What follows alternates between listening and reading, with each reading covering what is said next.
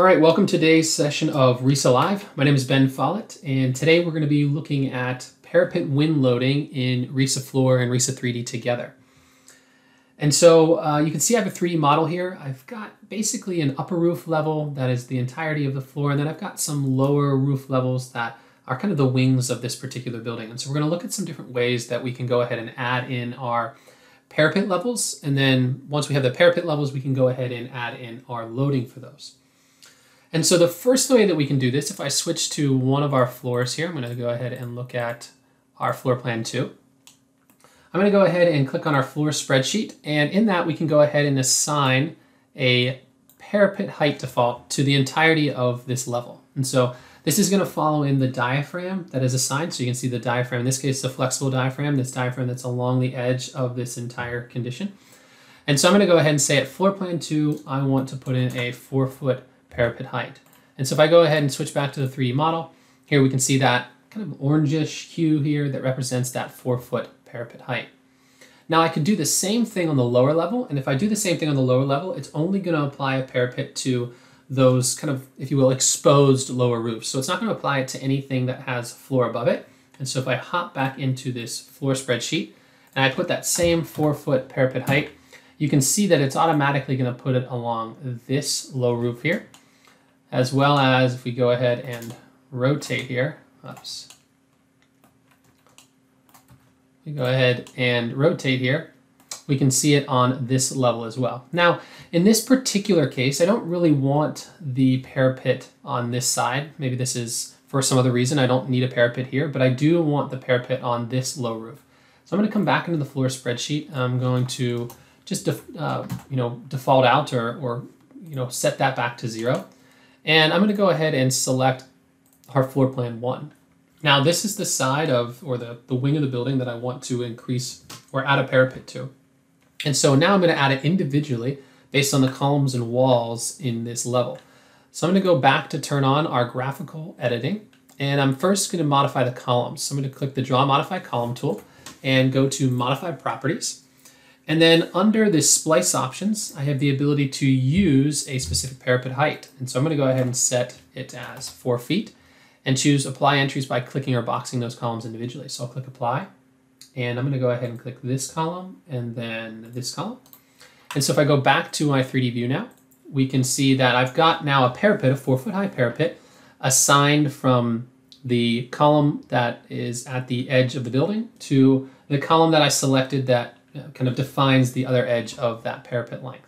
Same thing on the other side, column at the edge of the building, and then column that defines the edge of that parapet. Now I also want to assign a parapet based on this particular wall. I'm going to jump back into our floor plan one. And this is the wall I want to choose. So I'm going to go ahead back to our graphical editing and I'm going to choose the wall panel modifier draw. I'm going to choose modify wall panels. And again, I can enable the parapet height option here. And so instead of a four foot option, I'm going to choose a two foot parapet height and click to apply here. So now if I jump back into the full model, we're going to be able to see our four foot parapet from each column to column. And then we have that two foot parapet length that is associated with this wall. So it goes from the columns that we defined through the wall to the next column that we defined. And so in this particular case, you know, now we have all of these parapets defined um, in the locations at the levels that we wish. We can go ahead and also look at this defined parapet information by selecting either the columns or the walls in their spreadsheet. So if I click on the columns spreadsheet here, we can see on rows 28 and 29, we've got a four foot high parapet here.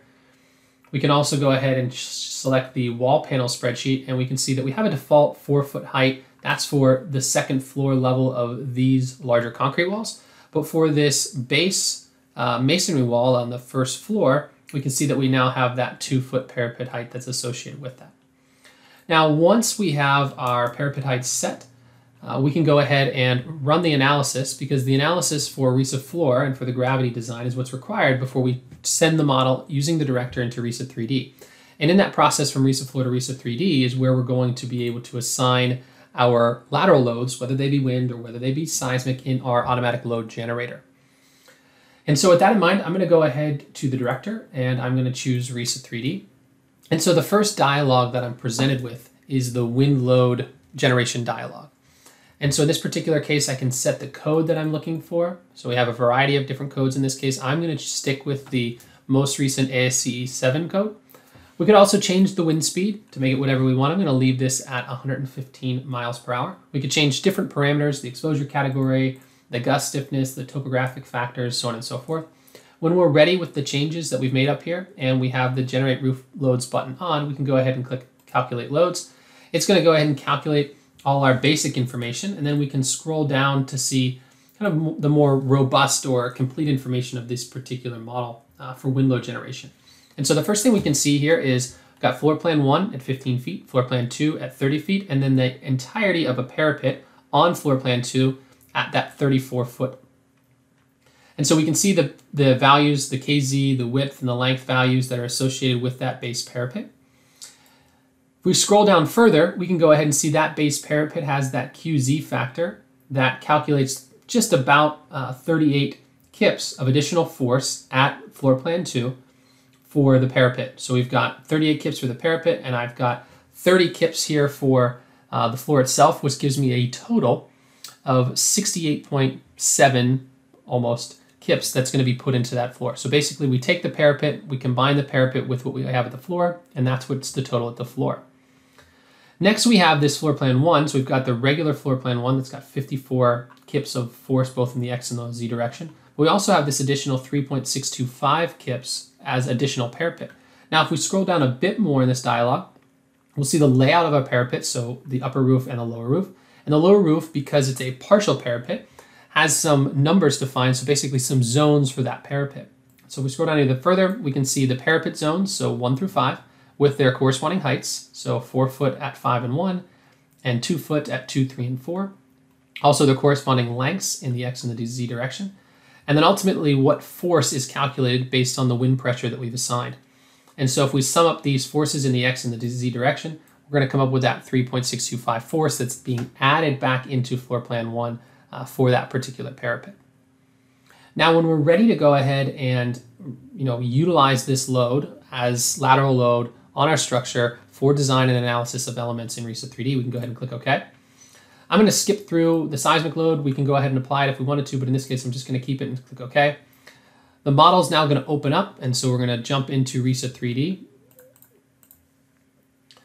And we'll be presented with all of our lateral elements. Remember, RISA 3D, when linked up with RISA Floor, is where we do our lateral design and analysis. And so the first thing I'm going to do is go ahead and turn on our diaphragm edge. So I've got our rigid diaphragm, that's that purple color here on the second on the first floor, and then our flexible diaphragm on the second floor. In this case, it's a metal deck.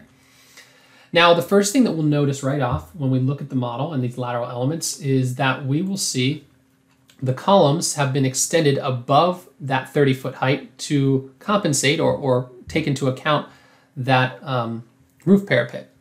And so not only the columns, but our walls as well. So we've got this definition of that parapet for each of these individual walls. Now, if we look down at the lower level, we have the same exact thing for our columns and walls on the lower level. We've got a four foot increase of the height of this column here on this side and on this side as well. And then a two foot increase at the height of this wall here in the middle. Now, if we want to go ahead and look at or turn on the loads, I'm going to select the load we want to look at, that wind load X, and we can go ahead and look at the loads applied. Now, these loads again are uh, a total load with the parapet included in it. So here we have that 68.6 kips and that 57.943 kips at the second level. We could also see the load in the opposite direction, so the Z load. These are loads applied at the center of the diaphragm, and then based on the diaphragm type that we've chosen, flexible, rigid, semi-rigid, we would distribute these loads uh, accordingly to the connected elements in the model. Now, if we had to make any changes, we wanted to uh, change the parapet height, or if we wanted to uh, look at uh, changing, you know, the wind speed or something like that, I mean, I can jump back into RISA Floor. My model will open back up, and since that link still exists between the RISA Floor model and the RISA 3D model, I could go ahead and make some changes to the parapet. So I could come back into my floors and, and make an overall change. Maybe it's actually a six foot parapet, right? I'm going to lose results, obviously, but I can go ahead and do that whole process uh, to create and modify my parapets for this particular building. So that's all we have for this today's session of RISA Live. Um, We're going to take a little break with our RISA Live sessions um, and start them back up in October after the release of uh, our new RISA 3D, RISA Floor, RISA Foundation packages. And so, in the meantime, if you have any questions, please, please feel free to reach out to our support group by emailing support at risa.com, or you can give us a call at 949 951 5815. And uh, we thank you for joining us and for your uh, participation in RISA Live, and we hope you have a great day. Bye bye.